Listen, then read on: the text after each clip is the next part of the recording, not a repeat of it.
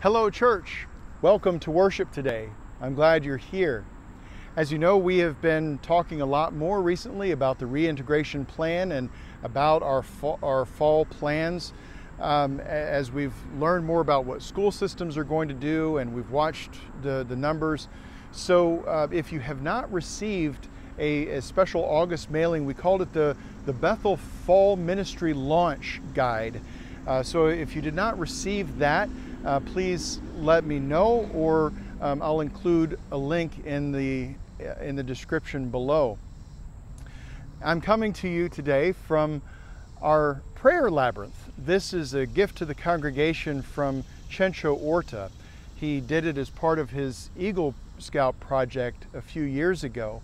Tremendous gift to the congregation and to the community. If you haven't been to this side of the property or if you haven't been out to see the prayer labyrinth, I invite you to do so. It's a great place to pray, to do a, a little prayer walk as you examine your life, as you examine your relationship with God and your neighbor. A fantastic gift. You see, the congregation, all congregations, are built on the, the love and the gifts of its people. Today, sadly, we say goodbye to Craig and Wynn Leitner. We, we celebrate with them as well because this is a, uh, their, their move to Pennsylvania will be a wonderful next chapter for them. Uh, but today also we celebrate with them because it's their 45th wedding anniversary. So many things for us to celebrate and look forward to. And so let us now prepare our hearts and minds for worship.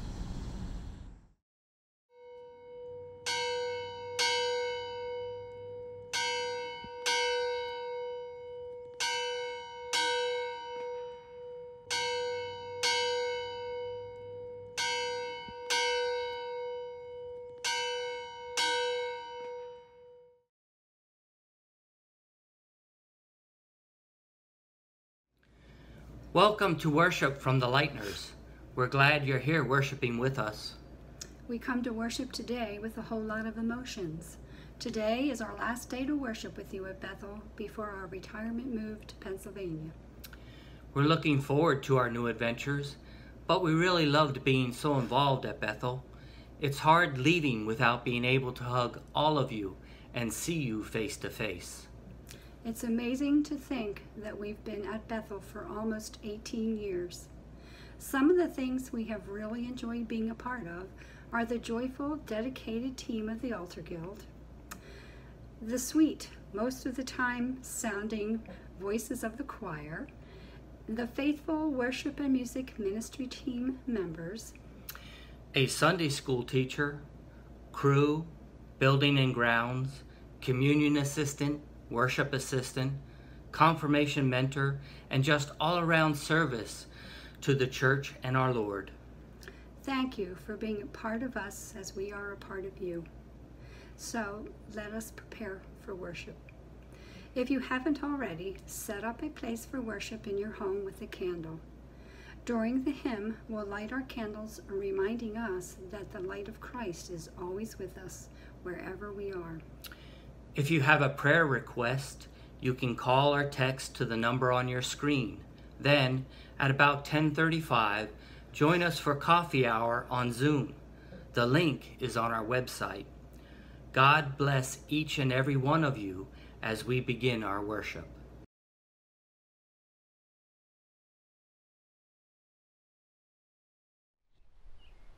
Blessed be God, Father, Son, and Holy Spirit whose steadfast love is everlasting, whose faithfulness endures from generation to generation. Amen. Trusting in the mercy of God, let us confess our sin.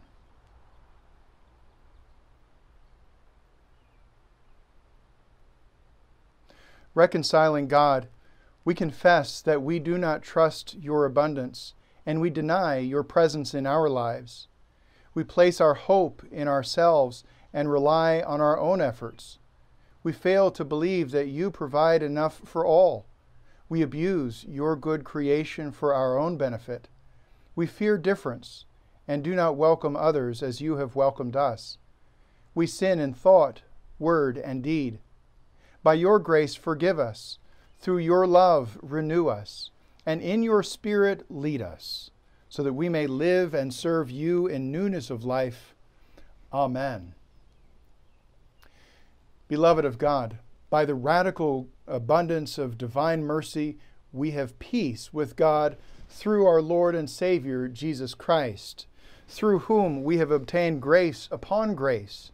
Our sins are forgiven. Let us live now in hope, for hope does not disappoint, because God's love has been poured into our hearts through the Holy Spirit. Amen. The peace of the risen Lord be with you all, and also with you.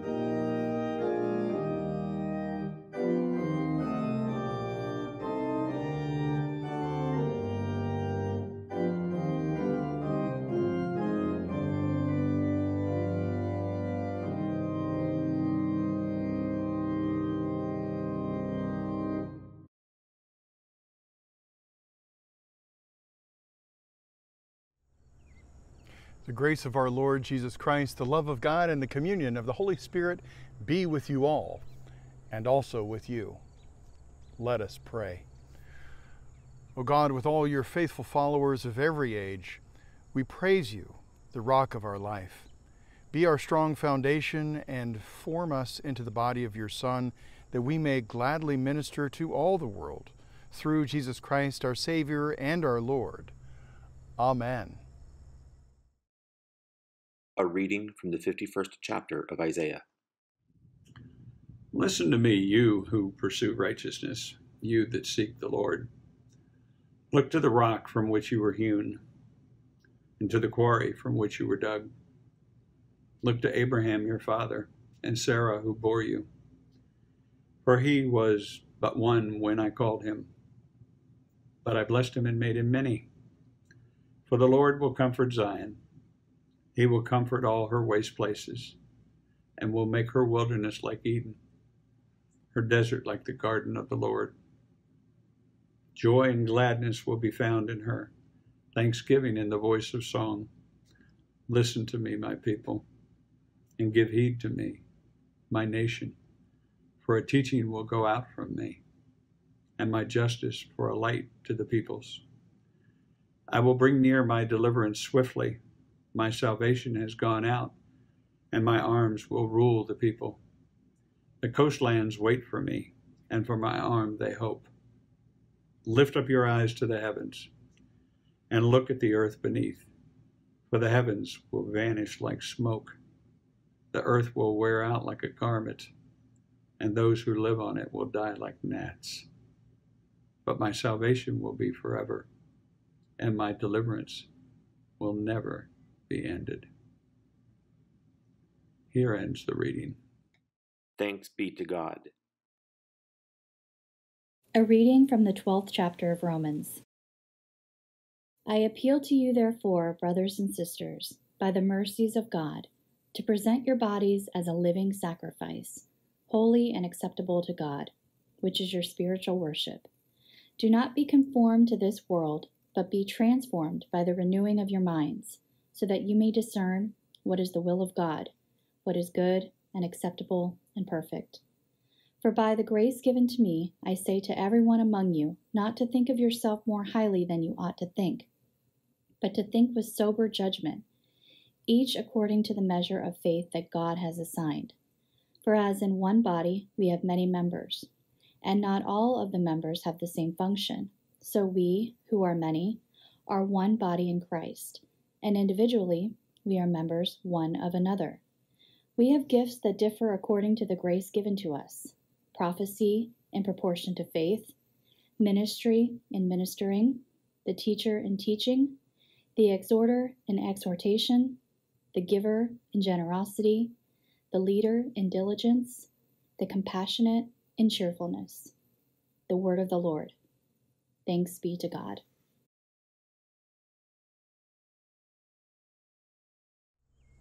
The Holy Gospel according to St. Matthew, the 16th chapter.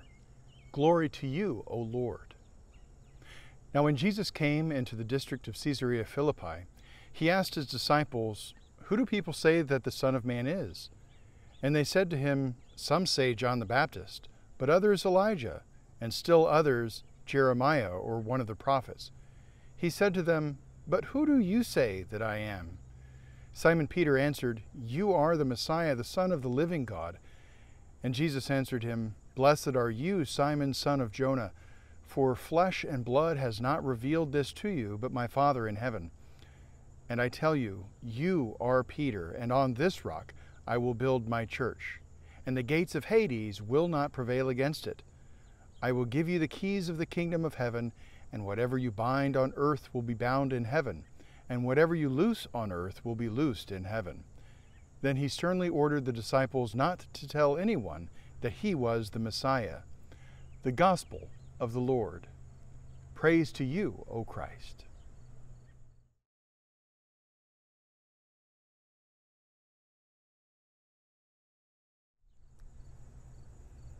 Grace to you and peace from God our Father and the Lord Jesus Christ.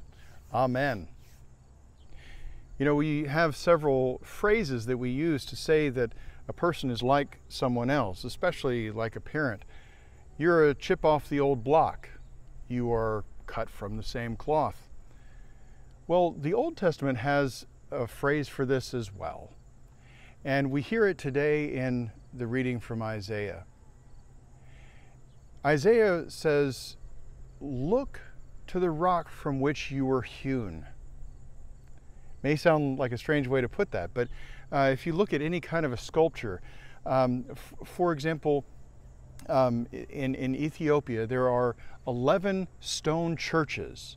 These are monoliths, so they are cut from one stone uh, where, they, where they stood. Um, really amazing structures. And, and so you, you find that uh, uh you, whoever the sculptors were, whoever built these churches, they had some vision in mind for what they wanted to do, but then they they started dirt, digging, they started working. So from that rock, they formed a church. We also hear about St. Peter St. Peter, uh, you know, he makes his great confession we hear in the gospel reading today. His great confession is in response to Jesus as he asks, Well, who do people say that I am? And, and the disciples gave him all sorts of answers, of prophets and all these. Uh, but then Jesus says, But who do you say that I am? Was it? It's really quite fascinating that Jesus asks, Who do you say that I am? Because I think it's there is something very important about us confessing with our own lips. What is it that we believe? Our, our beliefs, our, uh, our, our personalities, our values, they don't just appear. Look at all the people who formed you. Where did you get your interest in music, your ability to sing? Where did you get your interest in dinosaurs or flying or trains? Whatever your interests are, um, interests in business or, uh, or, or painting, we get our interests from somewhere. We were cut from the cloth of someone else. People who have gone before us, likely our parents, but could be other people as well, who have mentored us and helped to mold us to become who we are. We all come from somewhere. Who helped you to become who you are? Churches are very much the same way. Bethel um, didn't just appear one day.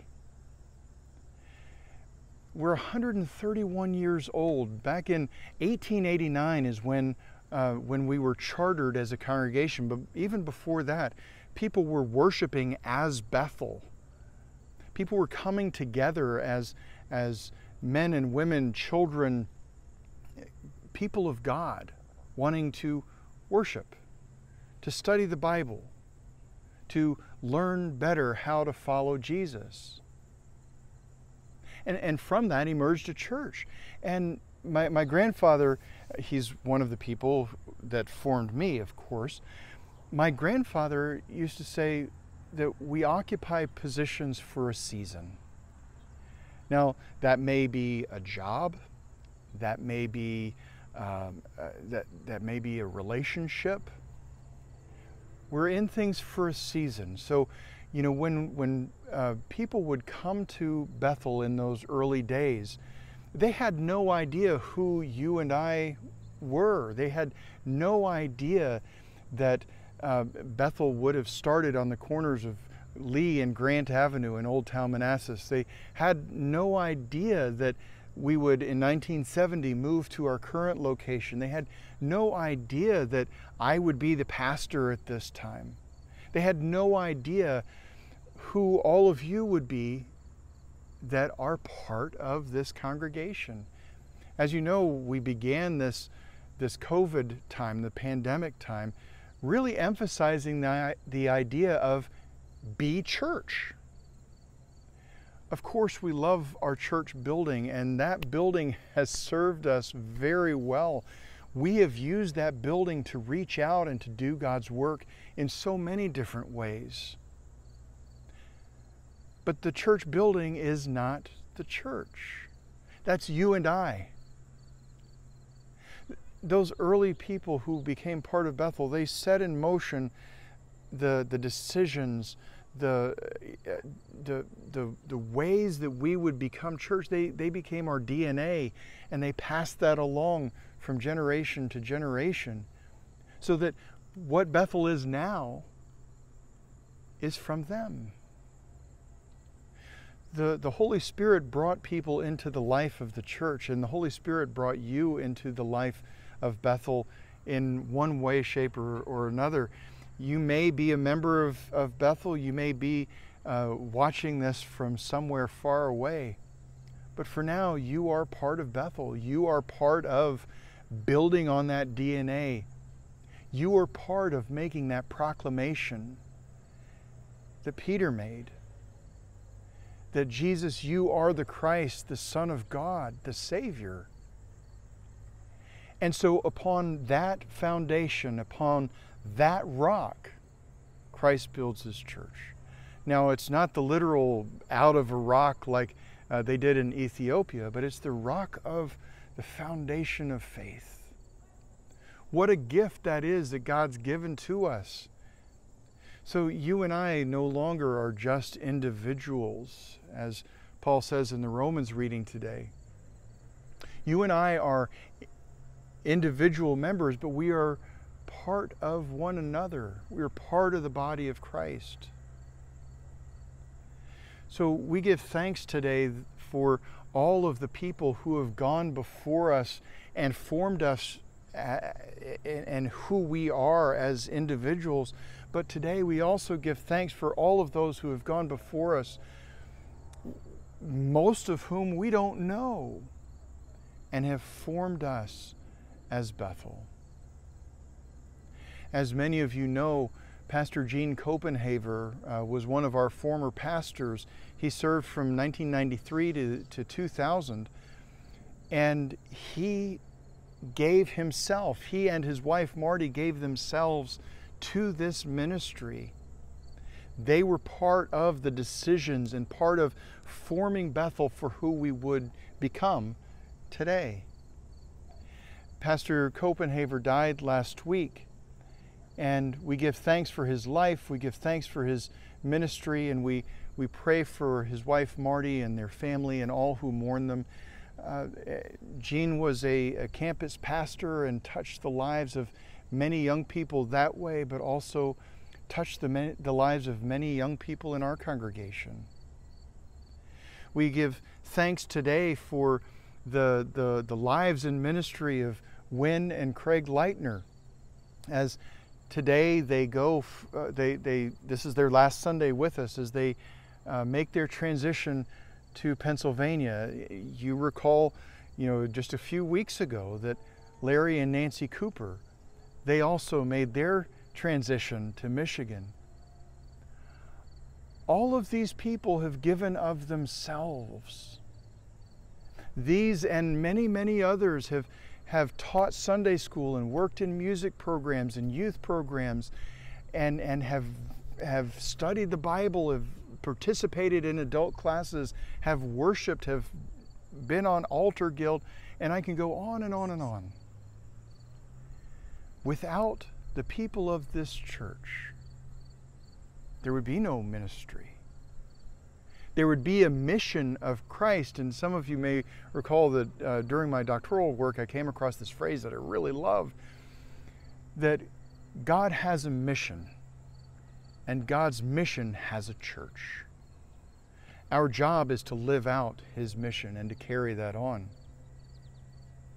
So, our, our question as we end the sermon today is first to give thanks and to think about those people in your life and in your faith development that made you who you are, who helped you develop as a, as a person of faith. But then we turn and we look forward. Where do we go from here? Who are the generations of Bethel Lutheran Church? Who are the people in the future that we don't even know yet? That we are making decisions for, that we are continuing the DNA, that we are continuing to build upon the foundation of faith, build upon the foundation of Jesus Christ. Who are those people that we are providing for and sending this church forward for? Because the church, yes, it does exist to feed and nurture us, but so much more. The church exists to feed and nurture our community, to feed and nurture uh, people in the future, to, to, to prepare uh, a, a, church and a faith life for, for young children and young adults as they find their own place in this church, as they make the, the, the faith part of themselves. So, church, let's be church as we look forward in hope to what God will continue to do. In the name of Jesus, Amen. My life flows on in endless song, above earth's lamentation.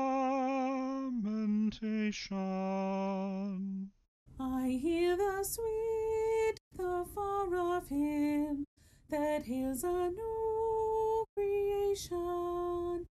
Through all the tumult and the strife, I hear the music ringing. It finds an echo in my soul. How can I keep from singing? What through my joys and comforts die, The Lord my Savior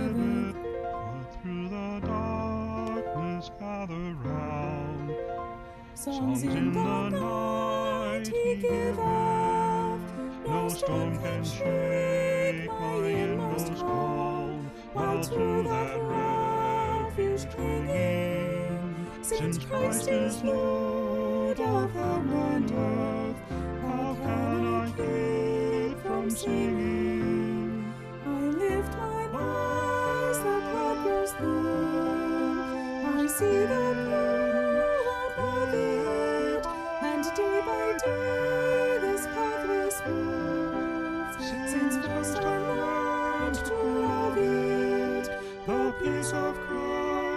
Fresh my heart, a fountain ever springing. All things are mine since I am His. How can I keep from singing? how can I keep How can I keep from singing?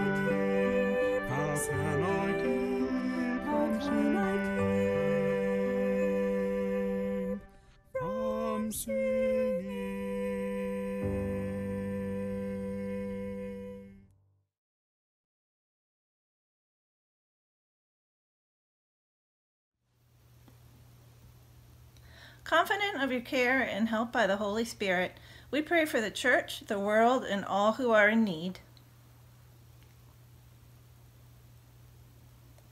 Lord our rock, you are our foundation in Jesus Christ, your Son, whom we confess as the living God.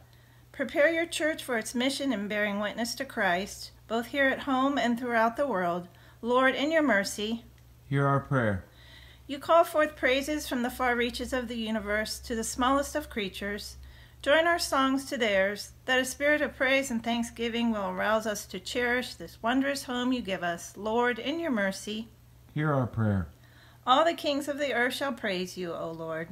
Direct the leaders of countries, legislatures, magistrates, mayors, and councils to walk in your ways. Help leaders regard those in need with mercy and fulfill your loving purposes in the governance of peoples. Lord, in your mercy, Hear our prayer. though we walk in the midst of trouble, you preserve us, deliver us, and fulfill your purpose for us. According to your steadfast love, grant healing and wholeness to those who are bereaved, in trouble or adversity, or sick in, or in need of care. Today we pray for those on our prayer list Howard and Renate, Tim, Cheryl, Lucille, Jane, Bob C., Rod D., Erna G., Connie, Clarence, Stacy, Josh, Cliff and Jean, Eileen, Dutch, Maria, Howard, and all those on Bethel's prayer list, and those we name in the silence of our hearts, so that all may experience your loving care. Lord, in your mercy, Hear our prayer. you call us into this community of Bethel, in which we, though many, are one in Christ. May we recognize in ourselves and in one another the unique gifts you have given us for the building up of the church for the sake of the world. Lord, in your mercy, Hear our prayer. you are the everlasting rock from which we are hewn, and you restore your people to joy and gladness. In blessed memory and hope, we thank you for the lives of our beloved Pastor Gene Copenhaver. Bring us with them to our heavenly home.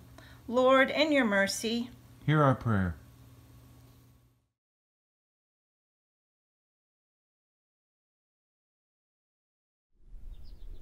Let us now join together and proclaim our faith in the words of the Apostles' Creed. I believe in God, the Father Almighty, creator of heaven and earth I believe in Jesus Christ, God's only Son, our Lord, who was conceived by the Holy Spirit, born of the Virgin Mary, suffered under Pontius Pilate, was crucified, died, and was buried.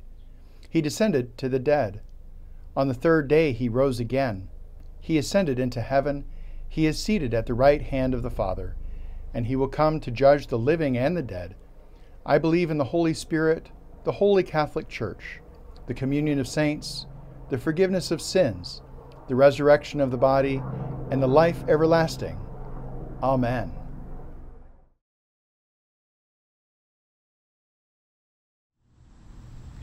As we conclude our worship today, I invite you to raise your hands in blessing as we bless and send Wynn and Craig on the next journey of their lives.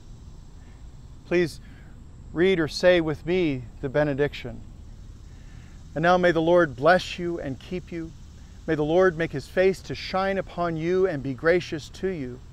May the Lord look upon you with his favor and give you his peace. In the name of the Father, and of the Son, and of the Holy Spirit. Amen.